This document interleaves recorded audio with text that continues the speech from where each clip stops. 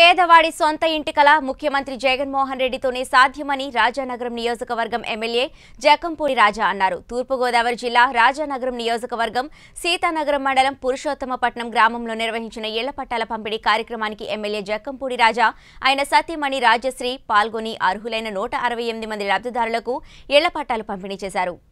ఈ సందర్భంగా ఎమ్మెల్యే రాజా మీడియాతో మాట్లాడుతూ నియోజకవర్గంలో ఉన్న అర్హులైన పేద ప్రజలకే ఇళ్ళ స్థలాలను కేటాయిస్తామన్నారు. ఉగాదికే పంపిణీ చేయాల్సిన ఇళ్ళ పట్టాల పంపిణీ కార్యక్రమాన్ని టీడీపీ నేతలు అడ్డుకోవడంతోనే ఆలస్యమైందన్నారు. పేదలందరికీ ఇళ్ళు పట్టాలు ఇవ్వాలని సీఎం జగన్ కంకణం కట్టుకోవడంతోనే రాష్ట్ర వ్యాప్తంగా ముప్పై పాయింట్ ఏడు ఐదు లక్షల మంది లబ్ధిదారులకు ఇళ్ళ పట్టాల పంపిణీ కార్యక్రమం చేపట్టామన్నారు. రాజానగరం నియోజకవర్గం పరిధిలో రాజానగరం కోరుకొండ సీతానగరం మండలాల్లో పంతొమ్మిది వేల వంద మంది లబ్ధిదారులకు ఇళ్ళ పట్టాల పంపిణీ చేశామన్నారు. అనంతరం ప్రభుత్వం పెద్ద ఎత్తున చేపట్టిన స్థలాలు పంపిణీ కార్యక్రమానికి మంచి మనసుతో తమ భూములు ఇచ్చేందుకు ముందుకు వచ్చిన రైతులు గోవిందరాజు వేములపల్లి రాములు వేములపల్లి గంగరాజులను ఎమ్మెల్యే జక్కంపూడి రాజా సాలువ కప్పి సన్మానించారు. ప్రభుత్వం చేపట్టిన ఇళ్ళ పట్టాల పంపిణీ కార్యక్రమానికి సహకరించినందుకు వారికి కృతజ్ఞతలు తెలిపారు. అనంతరం సీతానగరం మండలం పరిధిలో అత్యవసర పరిస్థితుల్లో ఉన్న రోగులను చికిత్స నిమిత్తం ఆసుపత్రికి తరలించేందుకు వన్ జీరో ఎయిట్ వాహనాన్ని రాజానగరం ఎమ్మెల్యే జక్కంపూడి రాజా ఆయన సతీమణి రాజశ్రీ చేతుల మీదుగా ప్రారంభించారు.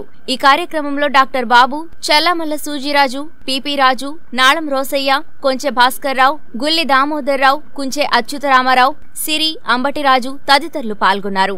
మా తాతలు మాకు ఆస్తులు ఇవ్వలేదు మా తండ్రులు మాకు ఆస్తులు ఇవ్వలేదు. మా పిల్లలు మమ్మల్ని చూస్తారో లేదో తెలియదు. ఇవాళ జగన్మోహన్ రెడ్డి గారు ఇంటికి ఒక పెద్ద కొడుకుగా ఒక పక్కన మాకు ఇల్లు ఇవ్వడం కానీ మరో పక్కన పిల్లల చదువుల కోసం ఫీజు రియంబర్స్మెంటో లేక అమ్మఒడి పథకం ద్వారా కానీ లేక వైఎస్ఆర్ చేయూత వైఎస్ఆర్ ఆసరా పెన్షన్లో. ఈ అన్ని రకాలుగాను కూడా మమ్మల్ని ఆదుకుంటా ఉన్నాడు. నిజంగా జగన్మోహన్ రెడ్డి గారు లాంటి ముఖ్యమంత్రి మనకు ఉండడం మాకు అదృష్టం అని చెప్పి ప్రజలందరూ కూడా ఇవాళ వ్యక్తపరుస్తున్నారు.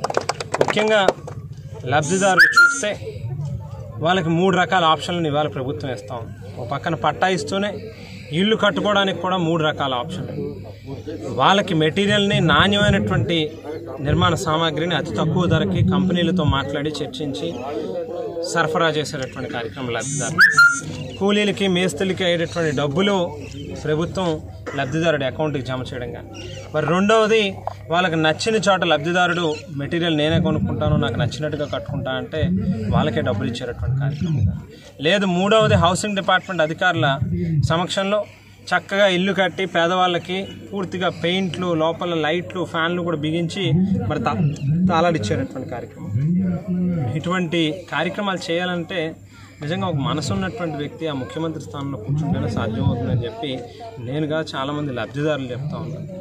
ఈ జగన్మోహన్ రెడ్డి గారికి ఈ లబ్ధిదారులు అందరి యొక్క అది ఆశీస్సులు ఉంటాయి. ఇటువంటి కార్యక్రమం ఆయన చేపడతా ఉన్నందుకు చాలామంది కుటుంబాలు చాలా సంతోషాన్ని ఆనందాన్ని వాళ్ళు వ్యక్తపరుస్తారు